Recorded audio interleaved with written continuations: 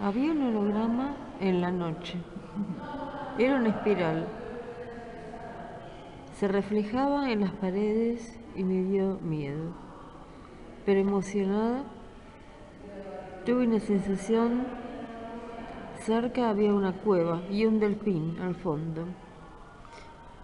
Todo reflejaba en la noche cuando abrí el placar. Silvia.